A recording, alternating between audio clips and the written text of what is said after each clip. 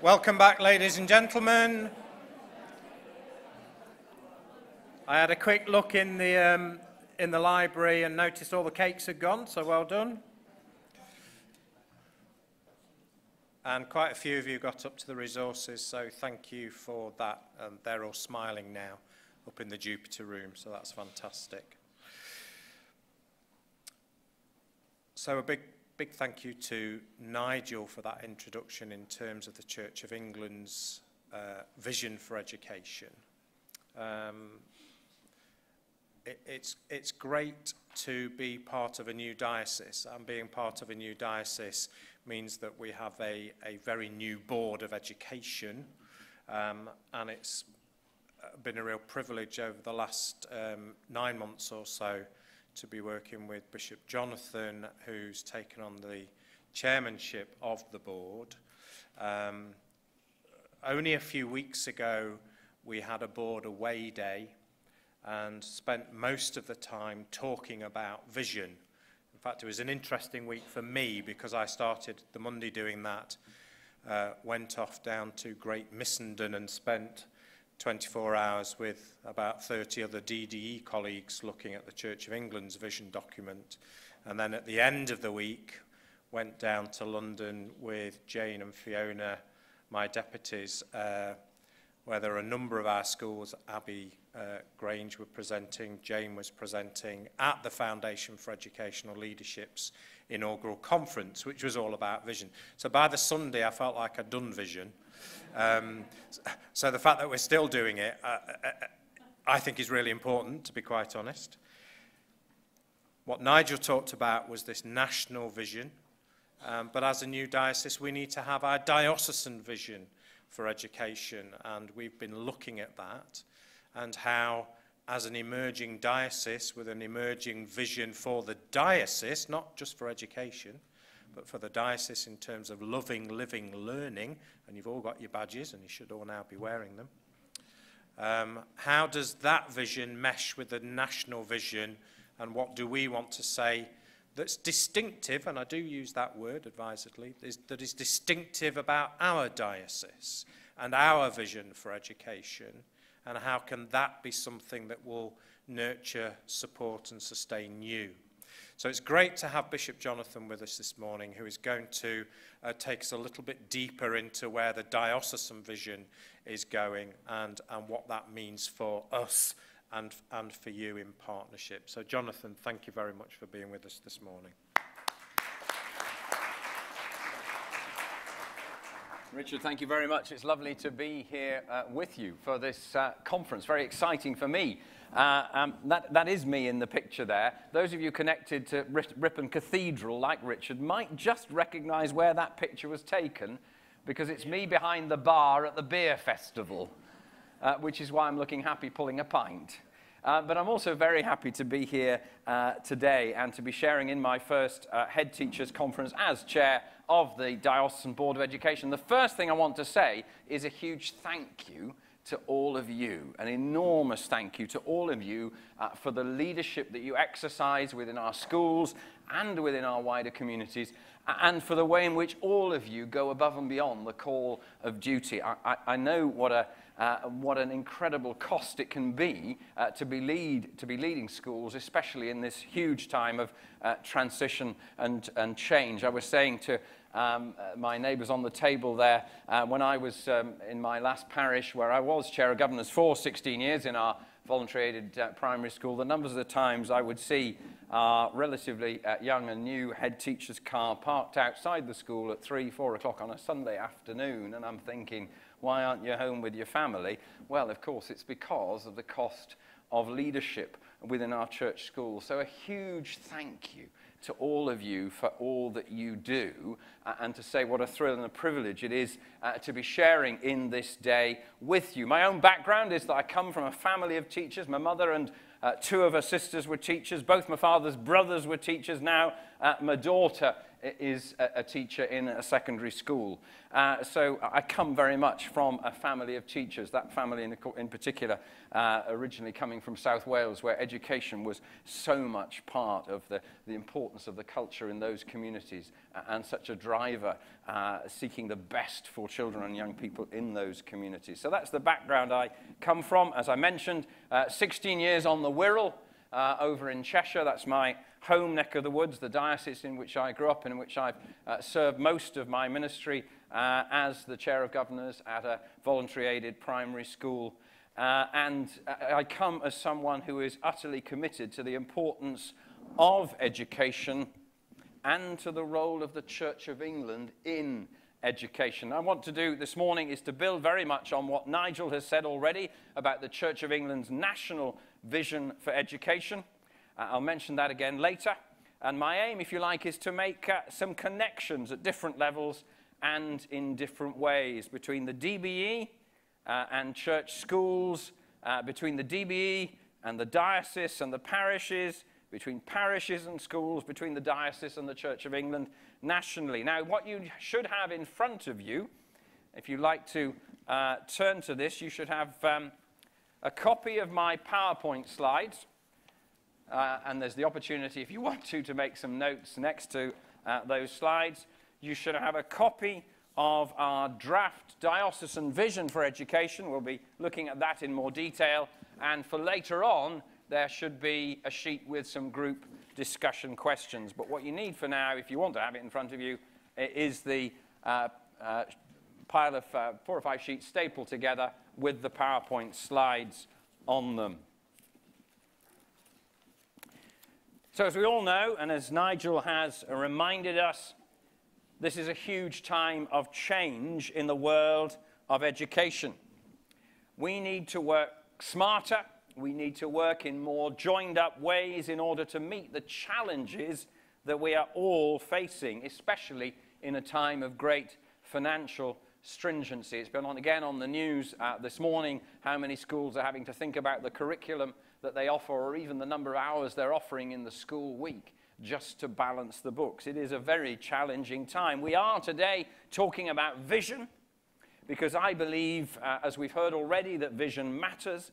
It gives us a sense of purpose and direction, and it helps us to focus and make the best use of the resources that are available to us. And it also requires us to think about why we are here and what we are hoping to achieve. Vision matters. So, a diocesan vision for education. We are all here because, one way or another, we are part of this entity uh, called the Diocese of Leeds. We're just getting used to that. And I'm, I'm, aware, too, of course, that there are one or two colleagues here who are from community schools. And it's fantastic to welcome you here and to recognize that we work together in partnership. So, thank you for being here. Uh, this Diocese of Leeds, the Church of England in West Yorkshire, quite a bit of North Yorkshire, and not forgetting a little bit of Barnsley. Barnsley are here, yes. Don't forget Barnsley. If you do, it's at your peril. Thank you very much. Uh, it is an extraordinary entity, this diocese of ours. We're still getting used to it. Ripon and Leeds, Bradford, Wakefield, uh, but we are part of that bigger family new. Uh, and that means we're part of something new, something different, and this is a good opportunity, therefore, to reflect on who we are and what we are about. Uh, the Diocesan Board of Education, as uh, Richard has hinted, has itself a number of new members. We've spent some time recently thinking about and formulating our vision. You have a draft version of that in front of you, and one thing we want to do uh, is to, today is to hear what you think uh, about that vision and to take your views into account because this is very much a, a dynamic and uh, a multifaceted process. So, firstly, um, two key points right at the start. Um, we, and who is that we? It's always worth asking who's the we? Well, the we in this case is firstly the Diocesan Board of Education. We believe that education should be central to the diocese's vision for its mission and ministry. Let me say that again. The Board of Education believes that education should be central to the diocese's vision for its mission and ministry. That is our starting point. But why do we think that? It's not, after all, obvious to everyone. Some people think the diocese, that is the Church of England in this bit of Yorkshire, should focus entirely on growing its churches and bringing people to faith in Jesus Christ. It was wonderful to see those young people up the front here this morning celebrating their faith and having the confidence to lead us in our worship. That's a, fantastic uh, testament to the work of the church and the school uh, over there in Idle. But some people think that anything other than growing the church and bringing people to faith in Jesus Christ is frankly a distraction from the primary goals of the church, which are to worship God and to make disciples of Jesus Christ. So, why? Why are we spending so much time and energy and effort thinking about our engagement with the world of education? Well, Nigel, of course, has already spoken about this. It is our Christian conviction that God wants all human beings to experience the abundant life, the life in all its fullness, of which Jesus speaks in John chapter 10, verse 10. And as Christians, we should be committed to the welfare and well being of all our fellow human beings, and indeed of the whole of creation. I was yesterday at a fantastic conference uh, at the University of Huddersfield, uh, which was convened by one of our local parishes, but working together with the university, getting a grant from the Templeton, Templeton Foundation uh, to think about uh, our response to climate change, reminding us that our, our commitment is to the common good not only of our fellow be human beings, but even bigger than that, to the well being of the planet on which we live. This is all about our serving the common good, as Nigel reminded us this morning. That is not the totality of the church's mission, of course. We are also in the business of proclaiming the good news of Jesus Christ and of inviting people into relationship with God through Him. And we do that unashamedly. But as followers of Jesus Christ, we are also in the business of serving other people and helping them to experience life in all its fullness. Or to put it in a different way, life as God intends it to be. To put it in another way, then, we are not just here to grow the church. We are also here to help people become all that God made them to be spiritually, morally, socially, culturally, intellectually, and yes, economically. So, education should be central to the diocese's vision for its mission and ministry. But it isn't, of course, or at least not always. And that is part of the issue we want to address at this conference. Now, some of you may say, although I suspect because this group is slightly self selecting, this may not be many in the room, some of you may say, oh, so what? Why does it matter? We can go on being the schools we are. We can go on doing what we are doing, whether or not the diocese takes us to its heart and supports us in what we are doing. Well, we can carry on. Thank you very much. And up to a point, that's true. But two things come to mind. Firstly, it's a changing world out there. Local authorities under pressure Ofsted getting tougher, schools going into category. We need each other, most of all when things get tough, and we've been reminded of that already. And secondly, having a Christian vision for education changes what we do and brings something distinctive that no one else quite brings in the same way.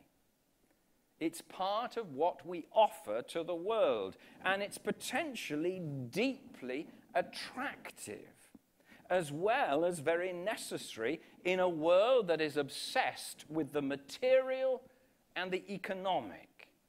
and being part of something bigger. The diocese and the Church of England helps us sustain and develop that vision at the local level. That's exactly uh, the kind of issue that your question focused on earlier on, and we're going to explore how we do that. So, how does our work in education fit in with our diocesan vision, loving, living, and learning? And Richard, you weren't wearing your badge either. You've got them. Take them away with you. We've got hundreds. Please do take them and use them. Spread them around. Loving, living, and learning. Um, how many of you have seen, in one form or another, uh, the diocesan, the new diocesan vision? How many of you are familiar with uh, this little strapline, loving, living, and learning? How many of you had seen that before today? Thank you, Jane. Glad to hear it. Okay, so that's a few of you, but not many. So it's certainly worth talking about. Um, let me ask a different question. How many of you who have seen the strapline before feel they know what it means? Ooh, I'm not. Oh, oh thank you, Tony. One member of the Diocesan Board of Education who spent a day working on it. Thank you very much. Well, that certainly suggests that it's worth pausing and thinking about. Now, in one sense, it's fairly basic. It's pretty fluffy, really, isn't it? Loving, living, and learning might have been made up by a marketing firm. Well, it was made up by a marketing firm. But on the other hand, it is a useful start. Especially, I would suggest, for us, because it fits very well with what we are about in the world of education loving, living, and, oh, learning. Uh, which, as Richard said, fits rather better than the thing that Bishop Nick started off by saying about being confident clergy, growing confident Christians to proclaim the gospel and I've lost it before we've even started. But it didn't fit either with education. And actually, this set of words really does fit quite well with the business of education. So, we aim to, I've got the little poster here. If you haven't seen it already, you, you could print this off and put it up, laminate, dare I say, laminate it, and put it in your schools. Loving, living, and learning. Uh, this is the a version that's available on the Diocesan website, we aim to love God, the world, and one another. Live in the world as it is. But drawn by a vision of something better, we want to help individuals and communities flourish, learn. When we get things wrong by listening and growing, uh, listening and then growing together. Um, don't worry, I'll be coming on uh, to say a bit more about that later on.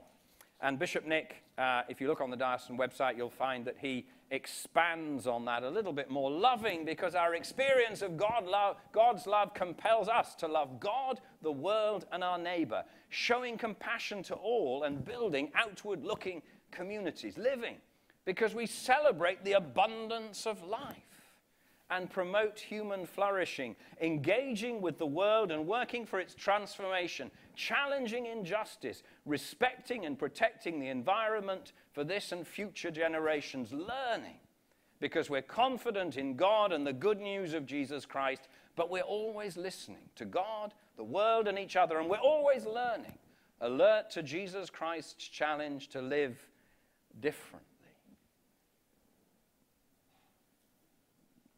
I think that is a wonderful and inspiring vision. Uh, it also, I believe, ties in really closely with what we've been hearing already from Nigel about the Church of England's uh, broader vision for education. And let's go on and explore a little bit more about uh, how the two fit together. So, linking with the Church of England's vision for education. Well, I hope you are by now, at least um, on the cover, uh, familiar with this document. It's well worth taking the time to go away and read it and use it uh, as a resource. Nigel has been speaking about that today. Deeply Christian, and a quote from page three with the promise by Jesus of life in all its fullness at its heart, and a vision of human flourishing.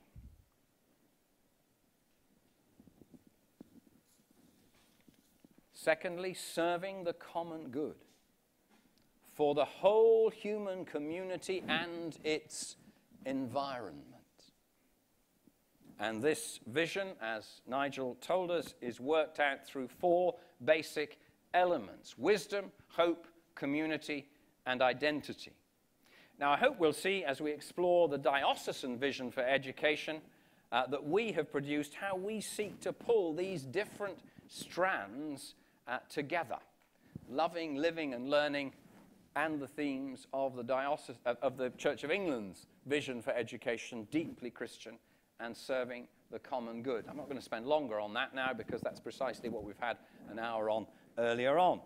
So, if you'd like now uh, to look at the handout you received with the statement of the draft vision for the Diocese of Leeds Board of Education, it's this one. And we're going to look at that in a little bit more detail.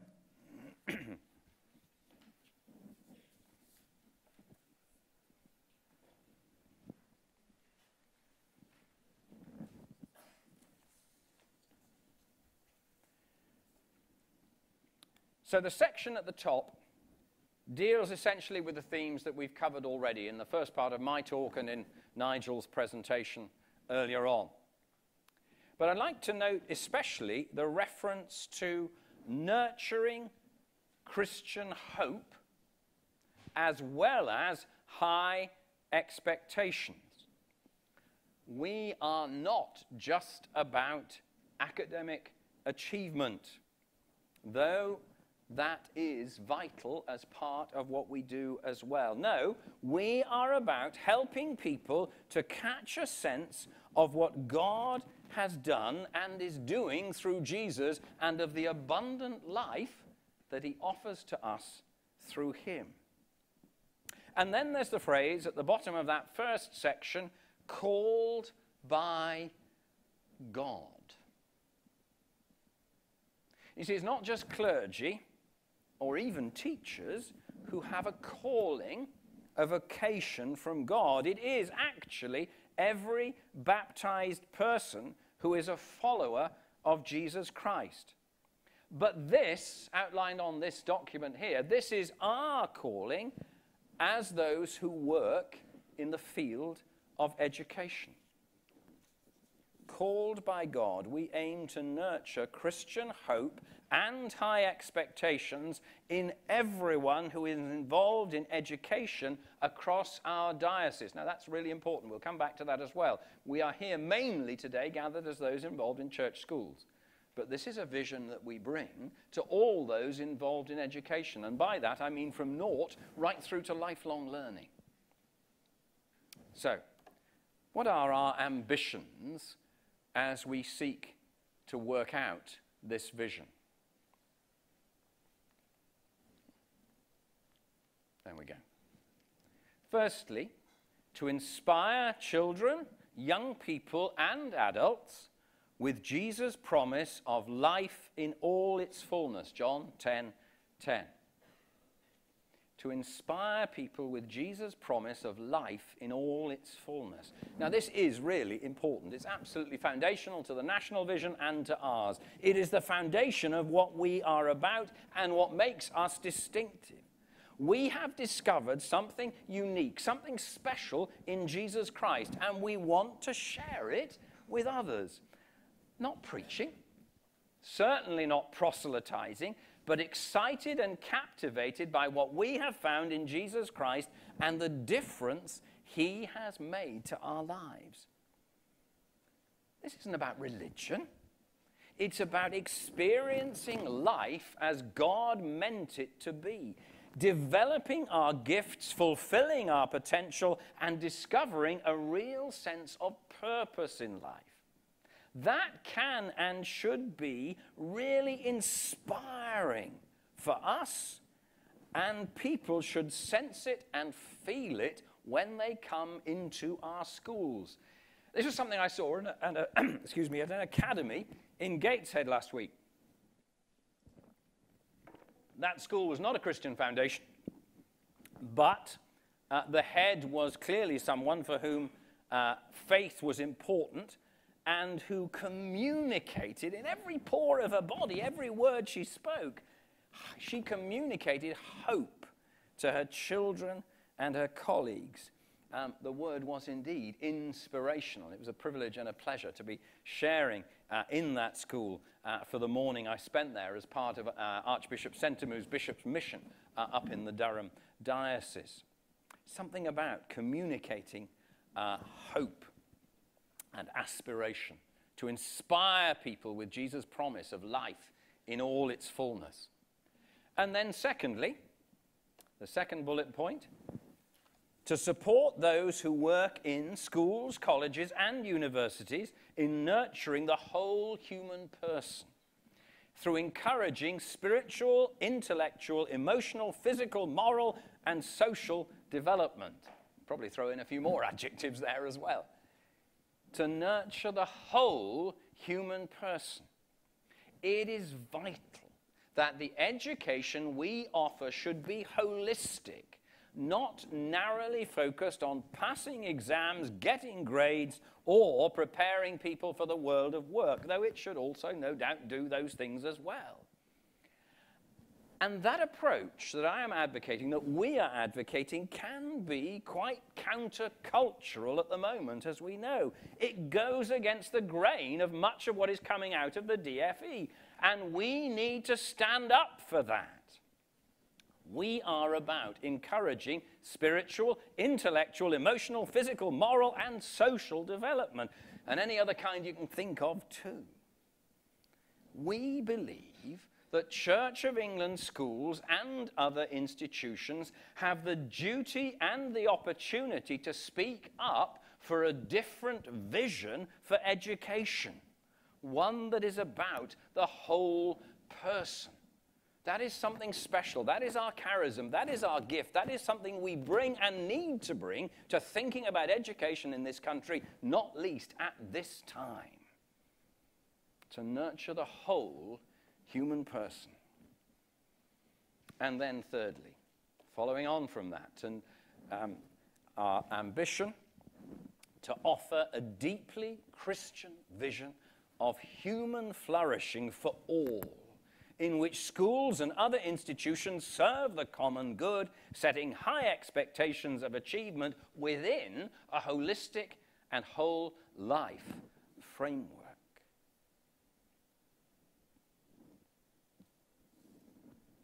One of the things I think we need to do is to strengthen links between the schools and parishes and the diocese so that there is a better understanding of and support for what schools are doing, on the one hand, and so that there is a clearer theological underpinning and rationale for schools as part of the church's mission on the other.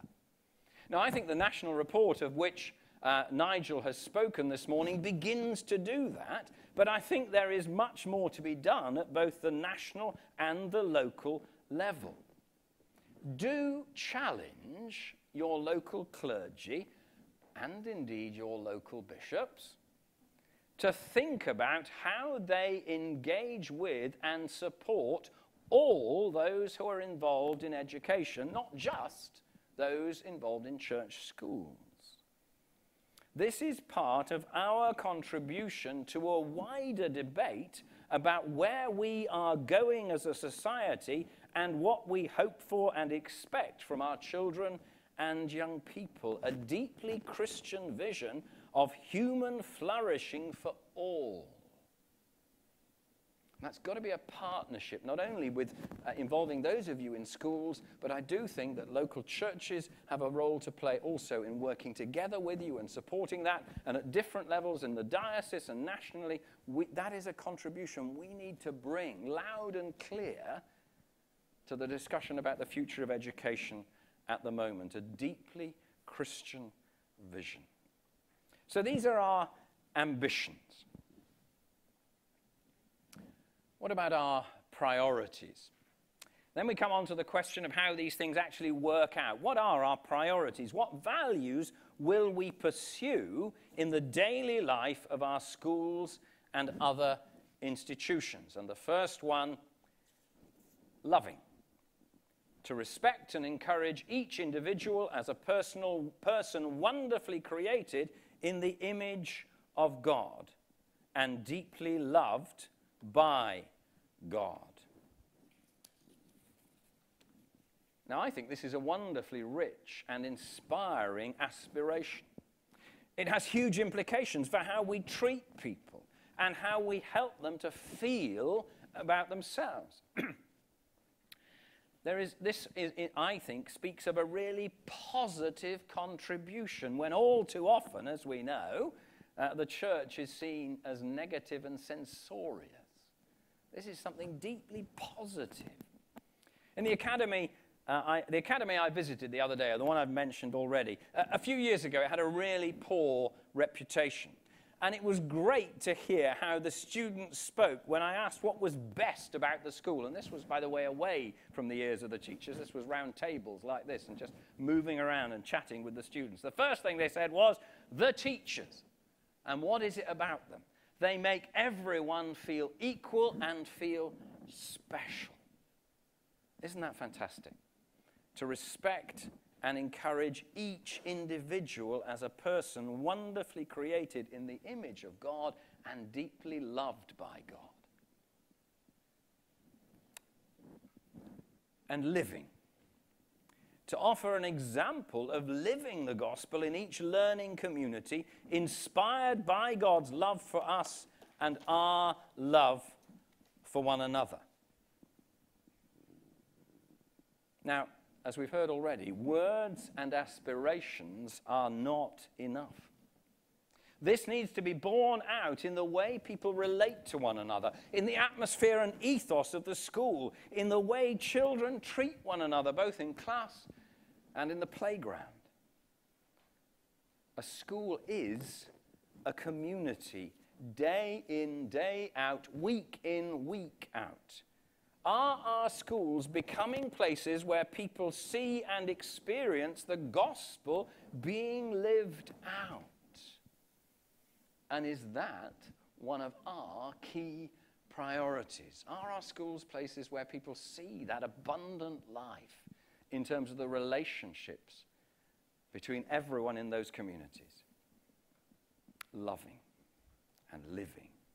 And then finally, of course, learning to, to serve our whole community by offering the highest quality learning experience to students of all ages, promoting wisdom, knowledge, and skills. Let's be quite clear this is about excellence. It is about never resting on our laurels, and it is about keeping track of FFT data and Raise Online and all the rest but it's also about so much more than that. It's about education for wisdom, which I think of partly as to do with the soft skills that young people need to thrive in life. Um, my son, Edward, our second child, graduated from university, doing really well in his career. It's not really because he's brighter than anybody else, he's done well so much more of it is to do with the soft skills he's brought and the relationships he has and the way that's been nurtured in him. Wisdom for life.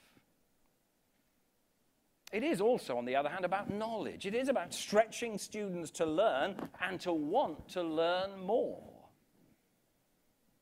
And it's also about skills practical life skills that will indeed be useful to them when they do come into the world of employment. It's not that we're pushing that out of the equation, but we're saying it needs to be part of the bigger picture. Now, please understand, I can underline this, please understand that none of this that I've been talking about today is intended to be prescriptive in a narrow sense. We are not talking about them at the diocese telling you what to do, because we know perfectly well that doesn't work, not least of all in Yorkshire. But we are talking about trying to shape a culture. One that builds on the best that is happening already in our schools and colleges, and one that helps sets a tone and a direction for our future development. And of course, this has to be a partnership.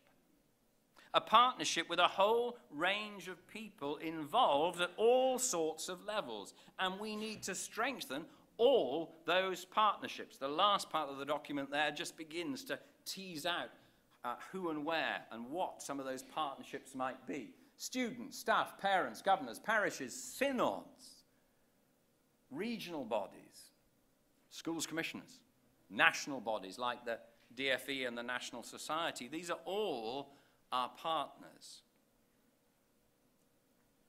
And part of our purpose today is to involve you in that process of partnership and to invite you to get more involved. So, in a moment, we're going to go into groups and discuss this whole theme of vision uh, and how it works out perhaps in our schools. Uh, and again, this, I'll say the same uh, as uh, Nigel said before. You've got some suggestions for discussion, but if your discussion goes off in a different direction, uh, that's fine. Uh, so you, you will need in a moment to turn to that handout with that list of questions on. But before we do that, I'd just like to give the chance for some initial response to what I've said. So please, would you just take a couple of minutes to talk on your tables and then come back with some brief comments or some issues you'd like to raise in response to the two questions which you'll see now uh, on the screen. Because our partners, most importantly today, begins with and includes you. Can you see those questions? How do you respond to what you've heard? Uh, and that's principally to what I've been talking about, but it may well feed on some of the things that came out of our first session. And what part do you think you can play in shaping and implementing the vision? That's just an initial response to that question, because much of what you do in the groups uh, will be talking about that question of the development and implementation uh, of vision. So thank you very much indeed for your attention. And now over to you. Thank you. A couple of minutes in buzz, and then we'll come back uh, with comments and questions. Thank you.